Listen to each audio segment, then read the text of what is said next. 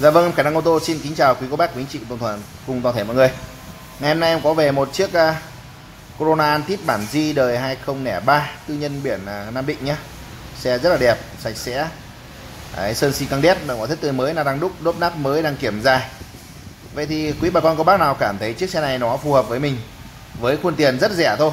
Anh em có thể liên hệ trực tiếp khả năng ô tô qua số điện thoại 032 60 62 789 để sở hữu mẫu xe Toyota Corona G bản à, Corona Antit động cơ 1.3 anh em nhé.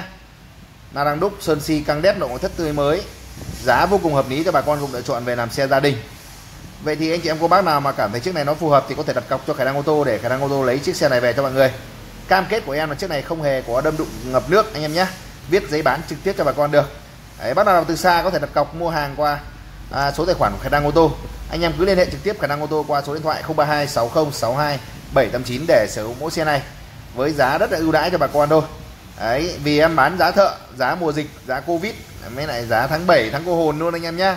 Lên thì anh em nào mà muốn mua thì có thể liên hệ trực tiếp khả năng ô tô qua số điện thoại 032 60 62 789 để sở hữu mẫu xe mà sơn si nội ngoại thất rất là tươi mới và đẹp. Cái dòng này đi rất là lành và tiết kiệm nhiên liệu anh em nhé đó với giá vô cùng hợp lý cho bà con này.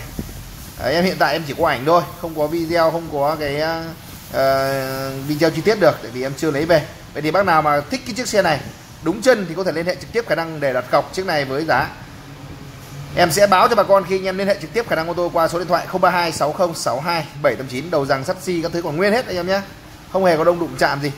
Xe rất là đẹp, sơn xi sạch sẽ, biển Nam Định, tên tư nhân. Một nút hồ sơ thoải mái nhé, anh em nhìn thấy máy số rất là ngon luôn. Xin chân thành cảm ơn tất cả mọi người đã quan tâm theo dõi clip của em. Xin chân thành cảm ơn.